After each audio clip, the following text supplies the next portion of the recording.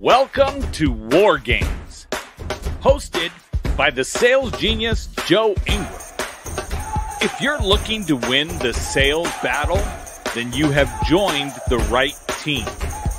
In the War Games group, we devise strategies for sales, marketing, branding, mindset, and attitude.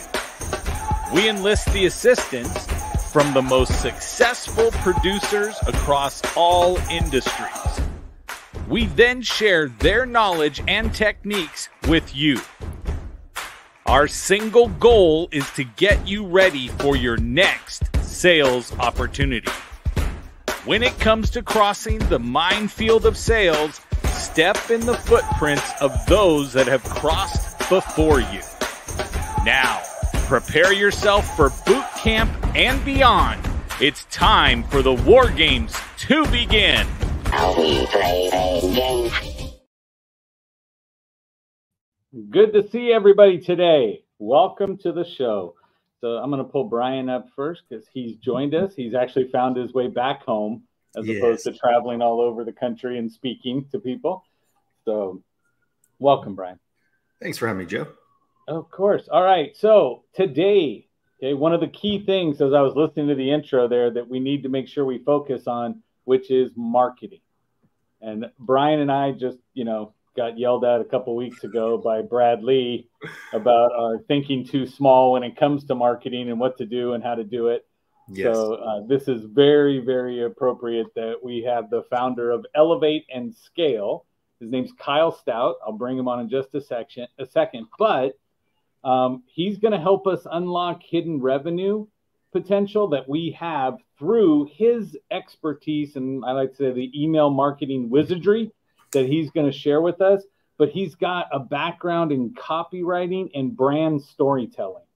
And if you know all of us here in the entrepreneurial space, even those of you that have a job that have to eat what you kill, right? It's going to be important for us to make sure that we can generate intelligent and converting email marketing because we may not be marketing it all that way and thinking we're just going to run an ad on social media and go for that. But Kyle has achieved remarkable success with e-commerce businesses, which is a good thing as well for all of us. So I want to bring Kyle up onto the stage now. Kyle, welcome. Thank you for having me. Oh no, the pleasure is ours because we want everything that's in your head. Okay, so awesome. We we definitely want to do that. So um, can you do a little favor real quick and just give us a little bit more in depth on the background as far as you know your trip to the success of being the e- email marketing guy? Yeah, so I mean, I started out as a freelance copywriter. Really, it was just trying to, uh, you know, take on any projects I could get. So I was doing a lot of sales copy for people's websites, and that led to me doing more copy for other marketing channels. Uh, so email marketing, you know, writing ad copy, things like that. As time went on, I found that I really enjoyed email marketing, and I noticed I was getting the best results for people through email marketing. And I liked that it was a consistent, reliable sales channel. And so, you know, at first I was doing, I was doing a lot of website copy, it was like a lot of one off projects. So it was a very feast or famine kind of cycle. And I liked that email marketing was an area where I could get consistent results for my clients, but also there was that consistent business relationship where they would need the service on a regular basis. So it was just a great fit, I thought, for a service to expand into um, as an agency and because I and I also did initially try to be the all-in-one kind of marketing agency where you know I was offering everything and I quickly found that you can't be great at everything and it was it was I had issues of hiring other people who just weren't as good as they seemed at those other things and so then I, I very quickly just honed it into email marketing and that was around 2019 and I've been doing it ever since. That's fantastic. And I hear this all the time because I'm one of those guys who grabs onto everything I could possibly learn and then try to teach it. But it's the the niche down, niche mm-hmm. down into what can be produced and you know what you're passionate about is always important too. And so one of the things I tell people is that you can be passionate about it or not, but if you have a skill set in it, then let's make some money with it. and then you can pursue your passions outside of it just with a big bankroll. So I think it would work better that way. Yeah, I mean that's an important point because it's not like I'm super passionate about email marketing. I mean, I, I do I do like it, I enjoy it, but it's not like I dreamed of doing this when I was a kid or anything, you know. So sometimes you find something that works and it just makes sense to lean into it. No, I, I agree completely. So um, a majority of the the audience that's uh, watching now, it's so funny because I'm looking at the number up on the top of the screen, but I have text messages from people too that are going, "Oh my goodness, I need email marketing." But one of them that came through told me, "Is isn't email dead?"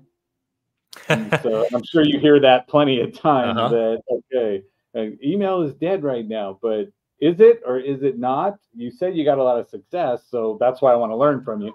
But yeah, so. That- well, I think I mean that's just I they could be joking. That's a funny that's just a common, you know, phrase in the marketing world that gets thrown around every all the time. Um actually so no, email marketing is definitely alive and well. It, it's kind of funny. So whenever I meet people in real life and I tell them what I do, the first thing they say is, "Oh, I hate getting those emails," and then the next thing they say is, "Because I always buy from them." You know, it's one of those things where even okay. when we're consumers, we may not like, we may not always like having our inbox filled with all of these marketing emails from people, but it does still work. Absolutely. No, I, I agree. I mean, I've done it plenty of times where I've ended up buying something from the email that comes through, or it's an existing relationship I have and it triggers my brain to go visit the site again to go and buy something.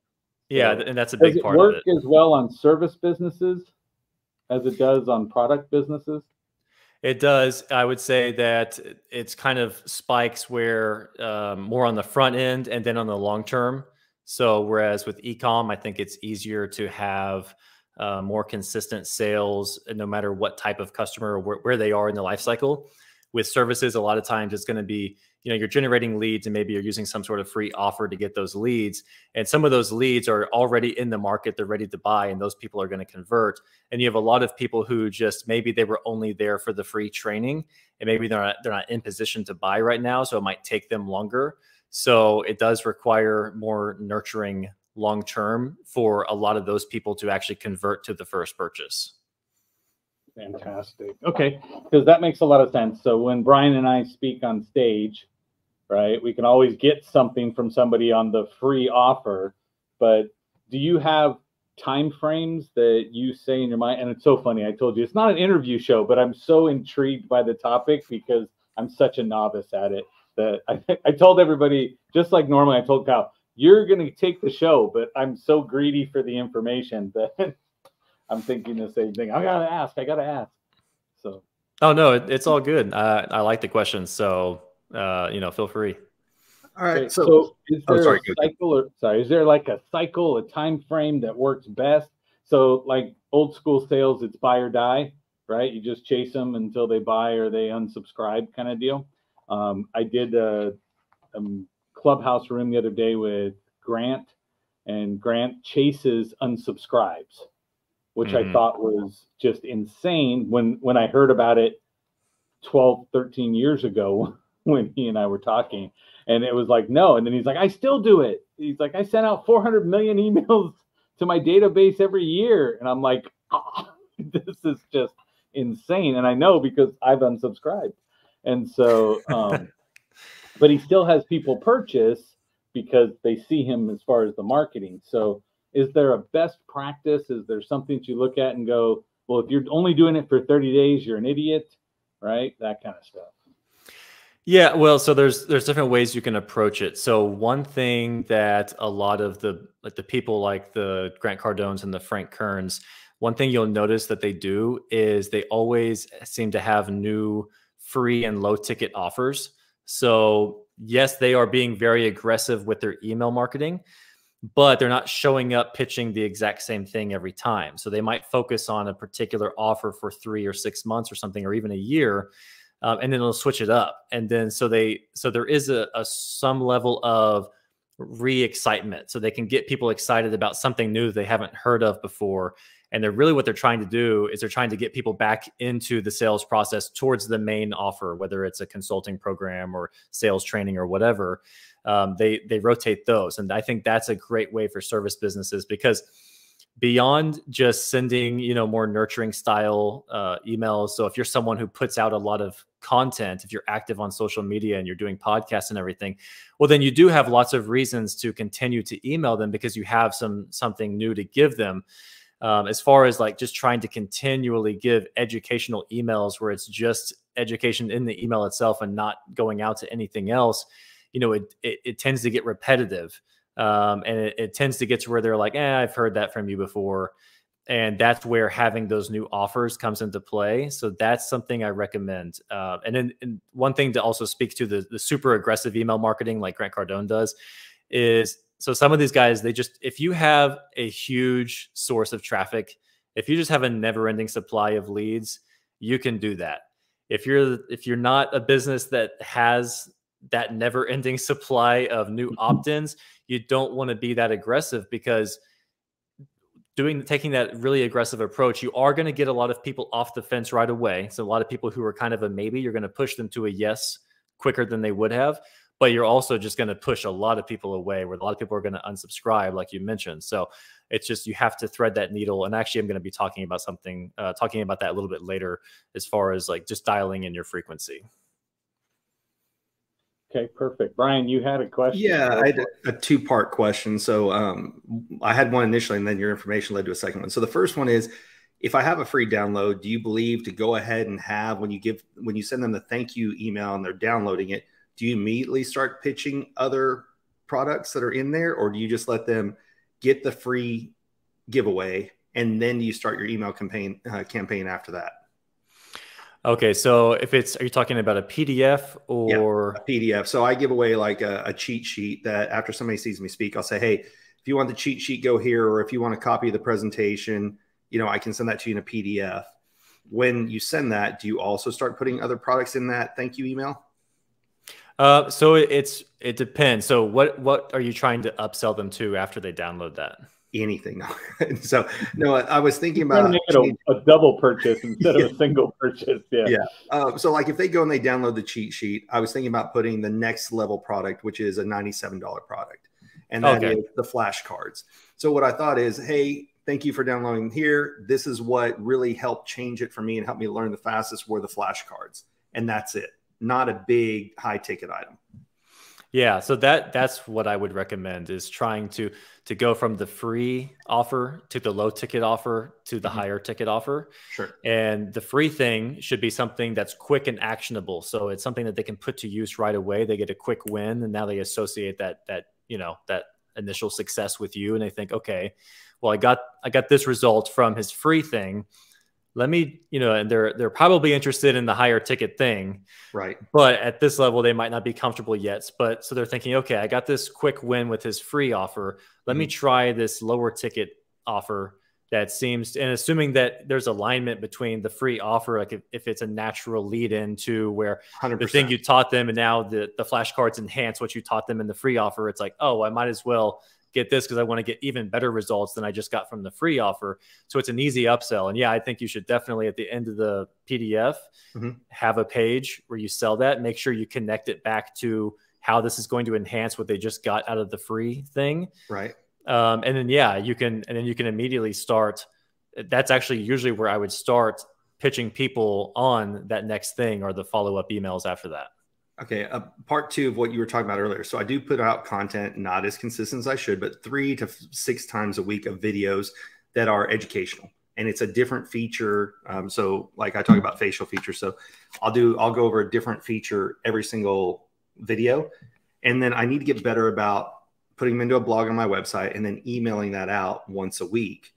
Um, so do you find once a week, twice a week, once a month? Like if you let's say you have three to five videos a week, do you backlink to YouTube or to Instagram? Because I was thinking YouTube because obviously Google would love you then. But then how often are you recommending sending an email out to your client list? And I, it's small, it's 1,200 people. Okay.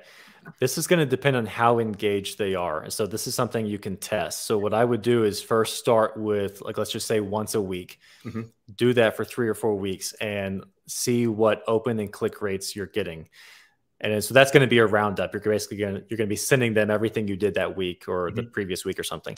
Right. Um, so then try after that, try doing twice a week. So now you've got it split up. So the first half of the week, they, they get the first half of the stuff, second half, so on. And then see if the, if the engagement breaks down significantly. If you're still getting the same opens and clicks, that shows that, okay, these people are, are pretty engaged. Like they, they're actually wanting this more frequently. So I would, push the frequency until you see a big drop in the opens and clicks. And you're probably not going to see a big drop in the opens. You're going to see a big drop in the clicks, mm-hmm. Um, especially now because a lot of open rates are inflated because of iOS. So I don't pay as much attention to opens as I used to. Okay. It's going to be the clicks. And so if you do see that, I would back it off. I would, I would kind of you know back go back to where you were you were holding steady because mm-hmm. it's really about figuring out because every audience is different. So you know, certain newsletters, especially if they're uh, if they're tied to the news in any ways, in any way, like if it's you know you're selling financial services and there's there's financial there's new financial headlines every single day. A lot of people they want that every single day. Right. That's not going to be the case for most businesses, right? So, um, so it's going to be you know for you to figure out how active people are with engaging with and you know consuming and implementing this content you're doing that's a way you can test their engagement and mm-hmm. you really just want to go off that. Don't worry about what other people are doing or you know uh, like what worked with maybe even in some other business you're operating in because every list is different. Got it. Appreciate it. Yeah, yes. No we're going to let you go into what you prepared now, Kyle, because we've selfishly got all of our information from you. okay, no, this is good. And, and Debbie, Debbie thought it was a great question on hers because Debbie has a business as well, and so she's got a one she's starting up plus one she already has. So she's going to say, how often do I hit my email list? And your answer was absolutely perfect. So. Okay, awesome. Yeah, some of these things uh, we're going to be talking about some of these things. So I, I, just based on your questions, I think this is going to be useful. So, um, but yeah, if anyone has any questions, throw them at me anytime. You know, I, I don't. It doesn't matter if we have to stop and answer questions, and you know, I, am not worried about Perfect. that. So, okay, so let me see here I'm gonna share.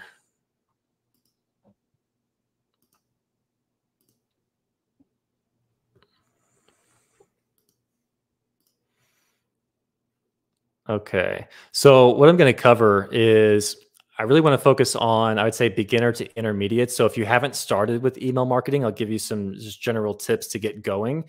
And if you are doing email marketing, I'm, I'm going to focus a lot more on what you can be doing to improve your email marketing.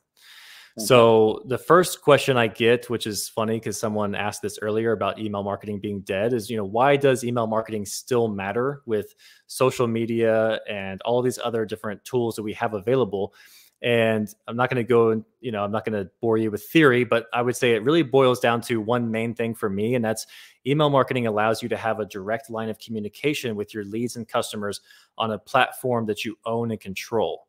So one of the things that we're seeing now is we put so much time and money and energy into creating content on all these other platforms, you know, social media and, and different platforms where you don't actually own the leads and customers that are there. You don't own their data. And so you you put you invest all this time and energy into it and then things can change. So you can have an account get banned. Even if you didn't do anything wrong there's just you know weird things happen you can uh, they can change the algorithm and all of a sudden you're you're not your posts aren't being seen by near as many people as they were.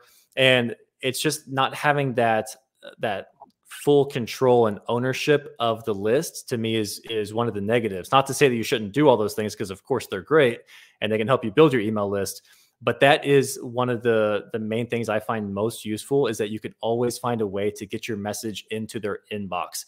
Um, and then beyond that there's you can there's a bunch of stats and and of course this is just an average but what i find is email marketing is very cost effective. So it has an average roi of $36 for every $1 spent. Now that is just an average so some businesses are going to see a way better roi and some won't see as good. That's still phenomenal. It, i mean for any that's the thing email marketing really doesn't cost that much compared to everything else now you know i mean you right. do have it depends how you're doing it if who you have doing it if you're or if you're doing it yourself um, you know the cost of creative in, in any space obviously is gonna there's gonna be a big investment there uh, depending on how good the creatives are but compared to you know advertising, digital advertising, for example. I mean, it's it's way more cost effective. But again, I don't think you should only do one versus the other. To, to me, it's about doing both. It's just about it's about doing social media, running ads to bring traffic to your site, and then using email marketing to convert people on the back end. So that way you're getting a better ROI on everything you've invested into that traffic. So that way you can then go and invest more into getting more traffic. So it I really see it as a holistic thing. Um, okay, so if you are getting started, these are really this is the the first main thing that you need to get done. So first thing is you've got to have a way for people to be able to sign up on your list. So you've got to have opt-in forms on your website. So you can use pop-ups sign up boxes landing pages. And i know a lot of people don't like pop-ups but whenever you go to different websites and you see these pop-ups all the time there is a reason why so many people are using them and that's because they work. So if you really have something against pop-ups I would recommend at least setting your pop up to be an exit intent pop up, meaning that it only shows up whenever someone is leaving the site. So you don't have to just bombard them right away when they land on the site. Uh, but this is the the form that that we consistently see the most opt-ins for. So you definitely got to have a pop up, and then to get people to sign up, you've got to offer something in return for them giving you their email address. So I call this a lead magnet. So if you're an e-commerce business, this could be a coupon, it could be a free gift with purchase. For uh, other types of businesses, it could be a PDF, a free training, um, a, a, consultation. There's many different things, but you need to have something that they get in return for signing up because just saying that they're going to get access to exclusive content or something like that that people used to say that just doesn't work anymore. It's not it's not enticing enough. Uh, so you need to to offer them something in exchange for them signing up. And then what gets really neglected here is that people will create the form, they'll create some sort of free offer, but then they don't really make a conscious effort to actually build up their list. And so that means you, beyond everything else you're doing on social media, podcasting, and everything else, you want to make a conscious effort to tell people on all these different channels about your email list, or really, I should say, about the lead magnet offer. So you want to consistently push that message of why they should sign up to your list and you know why they all the benefits of the lead magnet you've created and the big thing here is we're just trying to get all of these people off these channels and onto the email list because that's something that we own so going back to the initial point so the more you can you can get uh, people from instagram and youtube and facebook and everywhere else onto your email list the easier it is to going to be to generate sales from those people Okay, so now let's talk about whenever you actually sit down to create the content. So this applies to any types of emails. It could be campaigns, automated emails, whatever. Uh, what I find is that people have the most trouble coming up with the email campaigns. So a lot of times when you're setting up your initial automations, you you already have some topics to guide what you're going to say because they've just downloaded some free offer uh, so you're gonna, and you're probably pitching something else. So you already know what you're gonna talk about. The challenge a lot of people have is how do I keep showing up, you know, week after week, month after month, year after year, and keep finding new ways to talk about the same stuff. So, and also the other thing is just making sure that the emails are actually effective and that you're getting good engagement and that you're converting people uh, for sales or whatever else you're trying to do. So, the first tip I like to give people is to focus on who, not just what. So that means you want to focus more on who you're selling to than on what you're selling. So to do this, you need to initially research the hopes, dreams, desires, fears, concerns, and worries of your ideal customers to craft emails focused on the things they care about. So I think you know most people who are in the marketing space are very familiar with this.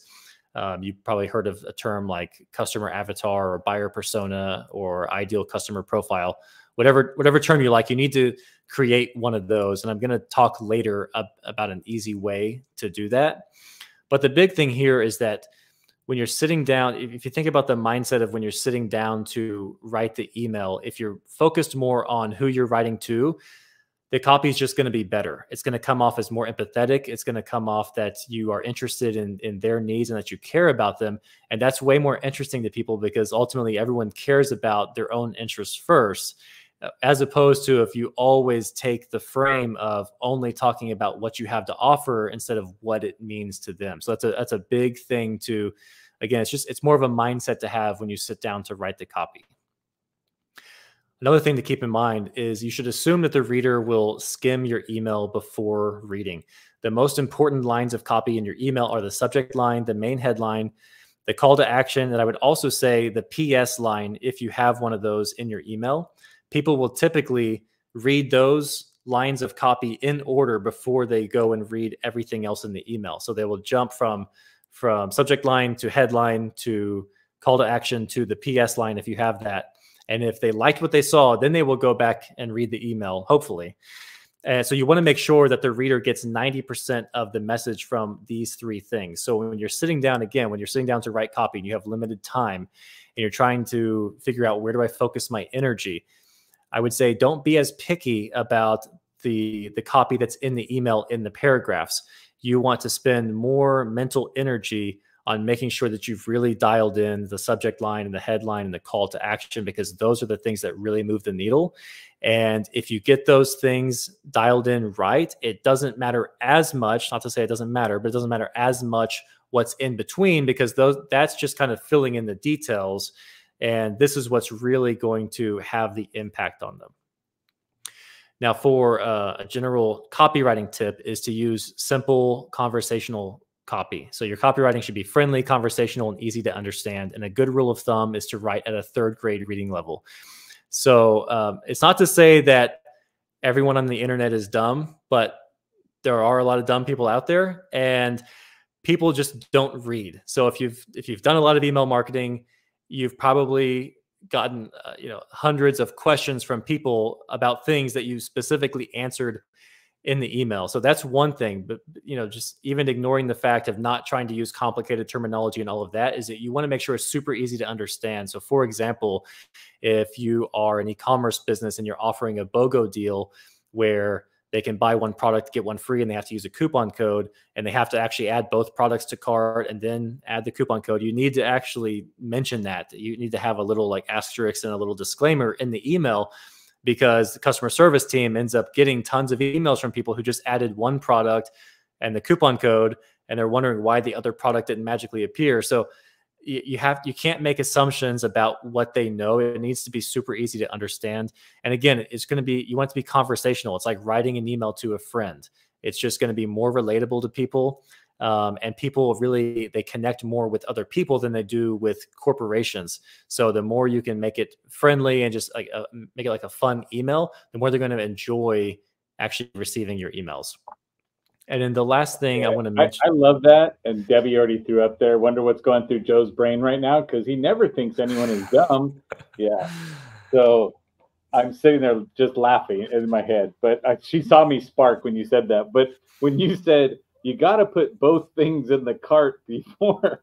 I was like, duh. But the way you said that was, I could see how they go. Well, then it would magically change the quantity to two. But the I, you hit me right now, and that's why I wanted to interrupt because it's on my head.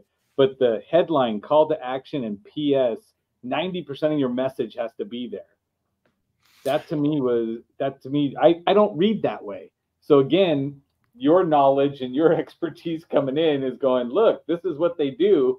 And I'm like, I would never read an email that way. But that makes sense to me. If you don't grab me in the first sentence, I'm done. So yeah. So and you're the type of person who likes to learn, right? You're yeah. always trying to learn and evolve. So what I find is that a lot of entrepreneurs, a lot of people who are really focused on self growth and, they and they just generally are are curious or they're trying to learn, they actually read they actually read the emails, they read everything. So they don't really miss the details as much. But but from sending out thousands of emails, I can tell you that for as much work as we put into the emails, most people don't read the whole email. And it, so it's it's really frustrating. So you have to and a lot of times also because we have so much knowledge on what it is we're offering uh, we've probably talked about it a lot before even doing the email. And sometimes we make assumptions. We just forget about little details that we think are obvious that are just not obvious to a lot of people because you are dealing with the internet so you sometimes have to you know think of the lowest common denominator agreed no that's phenomenal i got a text over here too that says um, do you have templates that is already built like the structure laid out like somebody said does he have an example to show of what a well written email content would be. No, I didn't put that in here, um, but I could. I mean, I could. Uh, I could give some. You know, well, they got to do something. They got to go to Elevate and Scale and schedule a call with you anyway. So that at that yeah. point, you can it to them once they do that. Give yeah, a little note. Yeah. Yes. well, I mean, I've got a ton of samples to show, but no, I don't. I didn't put that in here. Okay. Um, and it's going to be different for for what type of business you're selling, but in general, you don't. These emails don't have to be super long. So, and they also they don't have to be heavily designed. That's another thing. So, in the ecom space, I will say it's it's way better if you have nice designed emails with good photos and graphics because that's just a very visual space. When you're selling services, you're selling SaaS, um, there's a lot of times where, or if you're selling info products, you can go text only. So really, yeah. it's not the design doesn't matter. It's just there's there's more pressure on the copy, and the thing is, a bad design really takes away from the copy. So I would say if you're going to have nice designed email templates, then if it's not going to be a really good design that enhances the the email, to just go with text only and really focus on having good copy. No, that's perfect. Thank you. Uh, okay, and um, okay, so then the last the last thing I want to talk about here, this is something that I call having a reason to show up in their inbox. So one of my go to uh, angles to take for writing email campaigns is to use a conversation starter as a topic for the email and that creates a natural segue to your offer. And the, the big thing here is that you don't have to offer a discount to generate sales from email when you do this. So to give you an example of this, like let's just say we are talking about supplements. A lot of times, um, whenever people are, you know, creating a promotional email about a product, let's just say it's like a, a protein powder or a pre-workout or something, they might show a photo of it. They might list off five or 10 benefits and they'll have a CTA button and that's it. And, but the problem is that so you can do that sometimes, but how many times can you do that before people just get blind to that? And it's just it's just the same old thing. So what I would prefer to do is if I'm wanting to continually talk about this product over time, so you know, once or twice a month or however often we're talking about the specific product, every time I show up to talk about it, I'm going to have a new reason to talk about it. So it could be, you know, um, let's just say there's an ingredient in the pre-workout that helps with your focus in the gym. So what I would do is I would have the whole email really be about educating them on the benefit of the mind muscle connection and how you can improve your focus in the gym. And at the end, there's just a natural segue to tell them about, you know, oh, by the way, this pre workout product also has this ingredient that does this exact thing. So the thing with that is that even if they're not in the market to buy today, I gave them some value where they can actually that can help them improve and help them get better results with something they care about. And then for the people who are in the market today, and if that was something that resonated with them and they care about, it's now an easy decision for them to go buy that because I've just I've spelled out uh, in detail a, a reason that goes just beyond you know five bullets. Oh, that's fantastic. So how would you I, looking at the bottom two boxes you had? You talked about the subject line and then the conversation starter are they one and the same or do you, do you start with the converse with the tag the uh, subject line and then you build it into the conversation of the email so i usually uh, write the subject line last. So i do all of the email copy first and then i think about what's the most enticing thing about this whole email and i will use that as the subject line.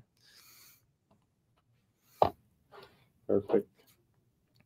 Okay uh, so here are some ways that after you've been doing some email marketing and you're sending out campaigns, this is a way to improve the engagement that you get with your list and improve the targeting of the emails you send. So, uh, segmentation is something that it, it, gets overlooked, but it's actually, and sometimes it, it, might sound complicated if you've never heard of it. It's it's usually pretty simple to set up with whatever email software you're using. And so the first thing you want to do as you start to personalize your email marketing more is you want to create buyer segments. So you can segment your list into groups based on their engagement, their interests, their purchase history, and all kinds of other things like their their gender, uh, where the location of where they live, all kinds of things. And the point of this is that when you have different groups of people to send different emails to. So an example of an engaged or an engagement based segment could be a 30 day engaged group and that just means that these people have engaged with your emails in the last 30 days. So they're they're really engaged. And by engaged i mean that they've opened or clicked your email in the last 30 days. And you can create these different time frames. So you can have 30 days 60 days 90 days you know one year whatever. And so the thinking there is that the people who are the most engaged they typically want to get the most emails from you. And the, the people who aren't as engaged you're better off not emailing them every single time because they're going to ignore them and it just becomes this habit where they they always see your emails and they always ignore them. But if they get a break from getting your emails then it becomes a more novel experience when they do get one from you. And the other thing is, whenever you have something that's super exciting, like a new product launch, a big sale, or whatever, I like to send to those wider engagement groups because those are the things that a lot of these people who maybe haven't engaged in a while are going to be interested in. But a lot of the the more regular content you're sending out so if you're sending out, uh, you know, content roundups of content you've done online recently, those things I'm going to send to the most engaged people because they're going to be the ones who are most interested um, in, in, getting that more frequently. And the same thing goes with, you know, uh, interests that they've expressed by, you know, you can tag them based on products they've viewed.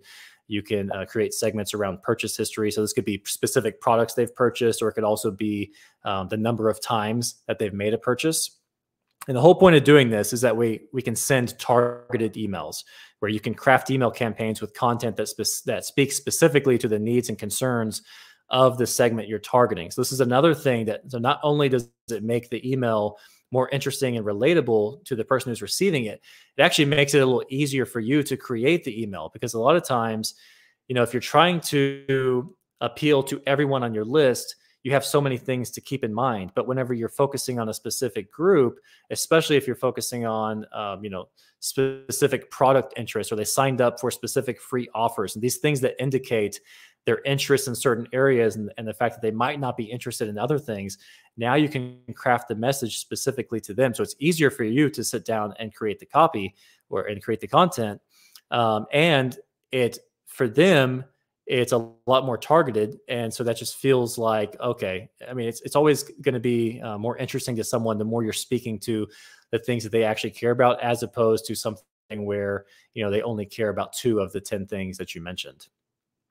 And then the last thing i want to bring up here is the use of dynamic content so everyone's probably familiar with how you could just add someone's first name into an email and all of that. But there's actually other ways that you can use dynamic content that will change the content of the email based on the subscriber's purchase history or interests or, or other things. So for example, let's just say um, you know you you have a variety of info products and services and you send out an email campaign and you're going to have a section in the bottom that is pitching them on one of those products. You can have it set to where maybe people who have never bought anything before are getting that little pitch section about your lowest ticket item.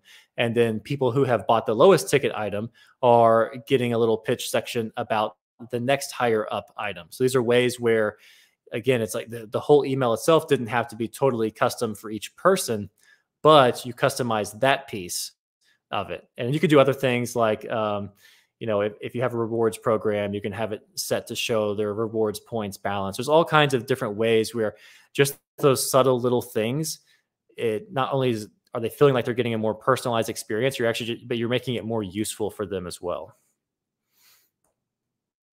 That's amazing. Okay, so this is one of my favorite things. So whenever you mentioned in the intro about unlocking hidden revenue, this is what always comes to mind for me and I, I, call it optimizing your sales process. This is really just getting all of your email automations set up. And so this is the process I would recommend any business do. It doesn't matter what type of business you have, it's going to be a little different for different types of businesses, but this is one of the biggest opportunities if you haven't done much with email marketing. This is going to be one of the highest priority, biggest opportunity things to do. So the first thing is you want to audit it should say audit your sales process, not audit out. You want to um, audit your sales process. So first, map out the step-by-step process it takes for for someone to go from being a stranger to being a customer, and then audit the conversions at each step to identify where the biggest gap exists. So, what does that mean? So, if your sales process looks like um, someone signs up for a free PDF, and then after that they are pitched on a consultation call and then after that call maybe you have to um, you know uh, maybe there's some, there's some either manual follow up, like you have to send them a, a full presentation. I'm blanking on the word of what you would, a proposal, sending them a full proposal. And then after that, they would close. You can look at, okay, where can we add automated follow up in between each of these steps? And then how you decide where to attack first is you just look at your analytics and look at, okay, how many people make it to each step? And where do you see the biggest drop off from one step to the next? And that's usually the first place that if you add some follow up in that spot, some automated follow up, you're going to increase your conversion. So the goal is to just automate your sales process as much as possible. Obviously, some things are going to require manual follow up. The more your business is uh, geared towards being like an e-commerce business or a SaaS business where people just click to buy, the easier it is to set these things up. So again, you know, whatever type of business you have, you want to map out the step-by-step process and get your numbers at each step and find out where the biggest opportunities are. And then from there, it's just all about creating the automated emails that are going to trigger at each stage. So, you know, if it's an e-commerce business, that could be things like your welcome series, your abandoned cart emails. For service businesses, they're usually going to be follow-up sequences that are tied to specific offers that are trying to move them up into higher offers, things like that. And then this is one area that I think is the best uh, where you get the best results from A/B testing. So because these emails are automated, a B testing is most effective in these emails because the conditions for who receives the email and when they receive it are consistent versus a campaign where you've just got all kinds of people of different interests, different levels of engagement. So you're not really getting consistent feedback from those people when you run A B testing. And also, like once you know you learn something from one test, but then you go create a whole new campaign and you're kind of guessing on well, they like the way I said this, so I should say something like that. That's not really that accurate versus having an A B test in these automated emails where the conditions are pretty consistent as far as when, you know, who and and when they're receiving this. And I find that this is an area where you can actually see improved results over time pretty quickly with A B testing. I love it. That makes sense. So you're auditing out because you put out, right? Auditing out the, the clips. so that to me it worked. I'm going to audit out the cliff in my sales process where yeah. all of a sudden everybody drops off. Yeah, that's exactly. So uh, yeah, I originally had build out and then then I changed it. Yeah, but uh, that does make sense. yeah. Um, okay, so really quickly, this is kind of a summary of some of the things that we've talked about a little bit, but these are some some of the biggest common mistakes that I see people doing. The first one is relying too much on discounts. And the mindset behind this that I have noticed from people is that a lot of times we don't like getting emails and we have this idea that if we send people emails, we're just annoying them and we feel like, well, I, need to give them a discount or else they're not going to want to buy. And like we've already talked about, it's really more about leaning on the quality and variety of your content to generate sales than it is from relying on discounts. So discounts are doesn't mean you don't ever discount, you know the thing is that whenever you can generate sales with without discounts now the big promotional sales you do become more potent because you you aren't doing them all the time so this is a big thing because if people once you get into this trap of sending discounts too often you train your list to to never buy at full price and now you're just eating into your margins. The second one is using the wrong wait yeah. Yeah. Uh, the, the sorry did you want to say something? No, I was going to say you you trained them to wait for a discount, right? Yeah, I'm, I'm that guy who goes and goes and says, "I'm thinking about buying something." I put it in the shopping cart and I wait for the abandoned shopping cart message to come back and offer me a percentage off. Yeah, I mean that's a. I have certain. There are certain companies I shop from where they do sales so frequently that um, every time I want to get a new thing, I always just wait for the next sale because it's always right around the corner. You know. So like, why would I pay full price if they're going to offer me 30% off in the, sometime right. in the next few weeks, you know? Um, okay. So then the next one, this is what we were talking about earlier, earlier with the sending frequency. And so most people, they think of the issue of sending too often, but for a lot of businesses, especially if you have a bigger list and you have an engaged list, a lot of times businesses aren't sending emails frequently enough. So it's really just about figuring out what works for your list and for your business. And, and again, what, like we talked about earlier, the way to test this is to just slowly increase your frequency until you see that engagement fall down. And again, it's not going to be so much with the opens, it's going to be a lot more drastic with the clicks. So I would pay more attention to a big drop in click rates than in open rates because you will find that you can a lot of times maintain pretty good open rates while sending to a lot of people who are are unengaged. And a lot of that is just because of the uh, the iOS update, where you're just getting a lot of you're getting this uh, report of an open whenever they didn't truly open it. And then the last thing here to keep in mind is you don't want to be sending every email to everyone on your list. And the reason why is, I mean, besides the fact that it's just not going to produce results for my emailing a lot of those unengaged people. But the bigger issue here is that if you consistently email these people who are unengaged, it will decrease your deliverability because Gmail and the other inboxes they have these strict filters on. Um, they notice whenever people aren't opening or clicking through your emails, and if they get a lot of negative feedback like that, they're going to start showing your emails to fewer people. So that could just mean, you know, first you end up more often in the promotions tab, but it also means that you start ending up in the spam folder, even with people who are engaged with your email. So this this is one of those things where it kind of it's a slow it's a slow trickle until all of a sudden it becomes a huge problem where you're just like, okay, why are we getting so fewer sales from our emails than we were in just you know six months ago? And a lot of times, if you're seeing that and you haven't really changed much about your strategy and you feel like the content's still good, it's a deliverability issue, which can be corrected pretty quickly. It's not it's not as you know huge of a deal as people make it out to be. As far as you know, it's not like your um, account is ruined now or anything, but it's a it's a major problem because if it goes unnoticed, it will just eat away at your engagement and your sales. Um, okay, so now I want to talk about this is something that's that's probably top of mind for a lot of people, and that's using AI for email marketing. And you know, everyone's talking about ChatGPT and the other AI tools, and so a lot of these AI copywriting tools have been around for years, and they really weren't that good. But in the last, you know, six, 12 months, it's come a long way to where I think these tools are actually really useful for email marketing now. And this is coming from someone who has a background in copywriting. So, you know, you would think I would be pretty biased towards copywriting uh, from a human. Exactly. So, um, but I want to talk about the strengths and kind of give you some, you know, just general feedback on this. So, the first area that I think AI is really useful for email marketers is doing market research. So I found that AI is really great at conducting the market research that you use to uh, create your ideal customer profile. So that way you can then create really targeted email copy. And then the next thing that it's really useful for is idea generation. So what's really cool is that once you've created your ideal customer profile, you can now plug that into whatever AI tool you're using and ask it to give you ideas for email topics specifically for these people. Because if you were to just say, hey, give me, you know, email topics for um, a broad market, so, you know, people who are in the market to buy a home, that's one thing.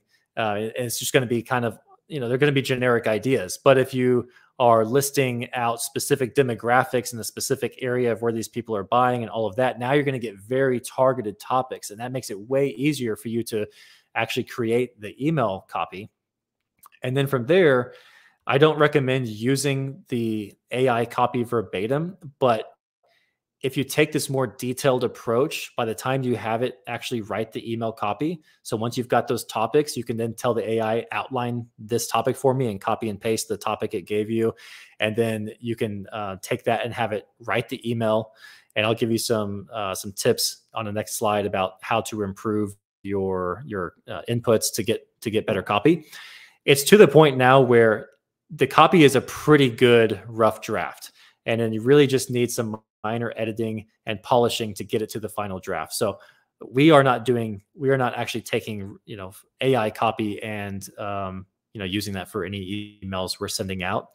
But what we are doing is having our copywriters use AI to speed up the process of idea generation and then getting rough drafts. And what we'll end up doing is having it create multiple variations of the same email and then taking different sections from the different variations they created and kind of mixing them together into something we like polishing up the copy of course it needs to be brand specific and use the actual language but we're finding that this saves a ton of time and for someone who is just getting started with email marketing and they don't have a copywriting background, a lot of this is just very intimidating.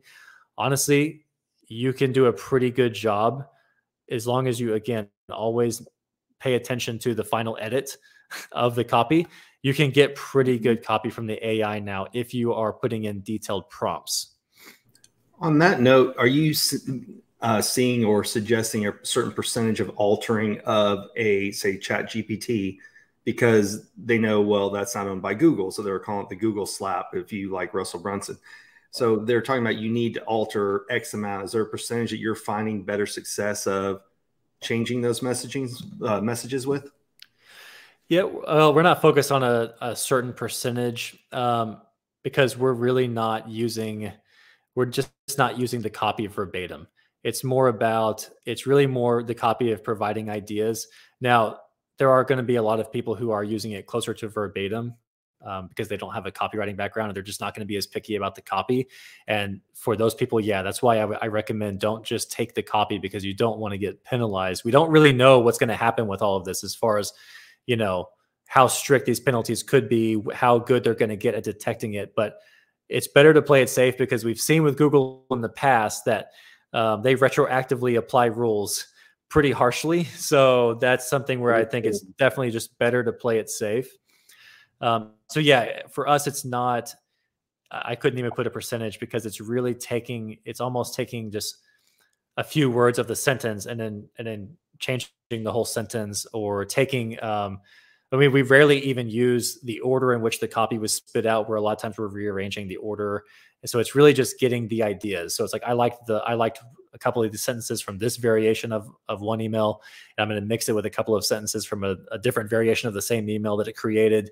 And then that might be one third or two thirds of the email and the rest i'm filling in with my own copy you know something like that. But it's different every time. So sometimes it's a sometimes it's a very Just- small it amount. expedites the process and and it, that probably triggers you enough to be even more creative on your part when you fill in. Exactly. And a lot of times it's not even having it write the whole email. It's I've written the email or one of the other copywriters has written the email and we are we're just we don't really like how a, a certain phrase is said or a, or a certain headline and we'll have it give us ideas for variations of that. So it's sometimes editing up or giving us new ideas for our stuff. So it's really it's a tool. I really see it as a tool that a copywriter has to make them be a lot faster and to um, cure writer's block if it comes up. You know, help just help stir up ideas. no that's fantastic okay Okay, so on this note, this is how to get better AI outputs because it, it really is the quality of the output you get really comes down to the quality of the prompt that you give the AI. And this is why a lot of people when they whenever they play around with these tools and they get this just terrible generic copy that just sounds totally off from what they are envisioning, it's uh, it usually comes down to not giving the right details in the prompt. So first thing is you want to add more detail. So the so rather than just having it write an email, you want to add details about your business, about your customers, uh, the segment you're targeting, and the type of email you're sending. By having all of that in your prompt, you're going to get a, a much more specific output for that email copy or whatever type of copy you're getting. The next thing is you want to perform multiple iterations. So you don't just want to settle for the first thing it gives you. Sometimes it's pretty good on, on the first shot. A lot of times it, it's it's not. So that's where you go back and you say, hey, can you rewrite this with specific instructions? So can you rewrite this with more humor, or can you rewrite this with more urgency, um, or can you say this with, with a different tone of voice? And you tell them what tone of voice. Or you can say, yeah, I don't like how you focused on this uh, you know whatever whatever angle they took. Can you take an angle that points people more in this direction? Those are the kind of iterations you give it and and that's how you get way better copy from it. So by taking these little extra steps the the copy you get in the end is much easier to edit because you're just getting so much closer to what you're trying to get. And again throughout these iterations a lot of times i'm taking pieces from the different iterations and kind of piecing them together and rewording them in my own way. And then uh, the last thing is if you wanted to model something that's worked in the past or something that you admire from other companies, you can actually also give it examples um, of copy that you like. So if you're writing a video script, you can take a video script from from a big influencer that that yeah that you just really like the way that they do their scripts and you can put that as an example and have it give you scripts that are more similar to that format you can do this with email this with landing pages headlines whatever uh, the more details you put in your prompts the better the output is and the more time it ends up saving you Okay, so that's it. I know we were we were getting short on time, so I was trying to rush through the last. Yeah, last Brian, Brian and I selfishly took the first twenty minutes, so you're good. as I was looking, I'm like, we are going long, but um, as long as you're okay. So um, I, I love the concept of going in. Now, Rhonda put up the same thing I started writing down. She put in here too. She loved the part about the key elements for scanning emails, right, and how it can help structure the content for your ideal customer and avatar. So we got another one that says uh, AI is a great tool for optimizing email copy. And Mo Rock walked away with just send more emails. Got it. so that, that was his take on it. But no, I think it's fantastic because I do believe that I love the concept. Very simple: the audit, automate, and then A/B testing. Right. That was to me, it was a simple framework that can be implemented by anybody to go in and say, here, this is what I have to do. But I want to say thanks to you, Kyle, because it doesn't seem as daunting as I had imagined it. Because every once in a while I get excited and I'm like, I'm going to send off an email to the list, but then, you know, the excitement leaves me and I no longer do anything. But what systems are you using to track all of the open rates and stuff like that? I, I just picture somebody because you brought it up with the uh, person who doesn't put the two items in the cart for the free one I'm like, this same person is going, I'm going to go do an email blast and a list from my Gmail and go see how many click rates there are. And I can't see any of this stuff. What's going on? So, what are some of the systems you recommend to say this would be a great one to use? Okay, for uh, for e-commerce businesses, my favorite by far is Klaviyo. That's the one that we primarily use. For um, really for i would say this applies to almost any business besides e-commerce service businesses especially go high level is one i really like now go high level is goes way beyond just email marketing so it's email marketing it's crm it hosts courses all that um, another one that's really great for all types of businesses but again i would say not as much for e-commerce is active campaign so those are okay. some of the three that I really like. What, but I recommend for people though, when it comes to choosing an email software, is to first look for the the email software providers that really cater to your business type, your industry, because they're going to be a lot more user friendly for you. They're going to be set up with specific features you need, and the less that you have to integrate things to accomplish all of the automations, the way easier your life is going to be. So that's the first thing. And then if you found some good tools that really cater to your type of business as long as they have all the the main things you need like being able to do email automations uh, segmentation some of the some of those things that you know weren't always available in some of the most simple tools then just go with the one that you like the user interface like you, the one that you're actually going to feel comfortable using is going to be the one that gets you results because if you don't use it you're not going to get results so right. it, it's not as big of a deal as people think um, but those are that's definitely what i recommend Perfect. Thank you. Brian, any questions? No, he answered the ones earlier. Uh, and especially, I appreciate you saying go high level because I use MailChimp today. And as your audience increases, so does your cost. And it looks like go high level. Not only are they based in my backyard here in Dallas, but they just have so many freaking features. I just need to know who am I going to go with to use them because everybody's like, hey, I'll put, give you on this for this price and this price. So, anyway. Yeah, I was gonna yeah. say we all have a referral link for Go High Level. So yeah, that's funny. Uh, but yeah, Go uh, Go High Level is like the more you dive into it, the more capabilities it actually has, and there's a lot you can do with this. You know, SMS, uh, uh, voiceless phone, or what? Do you, uh, sorry, uh, ringless, ringless voicemails, all kinds of stuff, AI chat, all kinds of stuff. So it's a it's a really cool tool. No, fantastic. So across the bottom, it's been scrolling the whole time. Elevateandscale.com. Is that the best place to find you?